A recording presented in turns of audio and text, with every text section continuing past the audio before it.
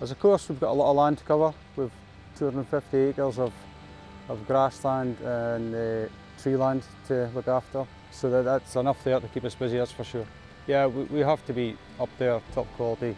Our customers uh, ask for that and uh, we try and achieve that in all departments and the quality of mowers definitely plays its part.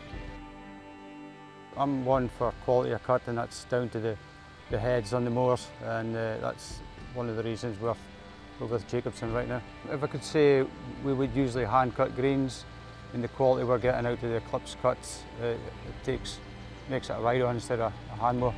The quality's there. Although labour is, is, is, uh, is always important, um, we wouldn't sacrifice quality for labour, but uh, the time we save allows us to pay more attention to other areas out with greens. And uh, so that, that kind of works for us. I mean, we've got uh, 12 hectares of fairways, uh, so two LF pair up and look after that for us. So they're busy mowers, we're cutting probably three times a week and, uh, and they give us a lovely finish. The roughs get probably as much attention, we've got a big area of roughs, probably 15 hectares, and, and they, need, they need regular cutting.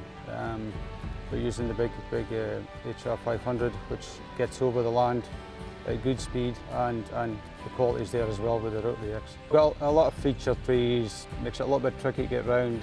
The guys know how to do it and uh, it's a good turn, turning machine and we don't get wheel marking, so it works for us here. Yeah, but they've got the cruise control and stuff nowadays, which is a, is a big help. I mean, it, it's, it's, it's, you think initially it's a bit gimmicky, but when you're on a machine, it, it plays a big part in, in the comfort of the driver. Yeah, the backup service has got to be there, no matter what type of machine you're with, but uh, fairways definitely play their part in this deal. They have to, and uh, they, they're with us as soon as we call. Within a couple of hours, we've got a machine back up and going again, and that's what we need here at Meldrum House.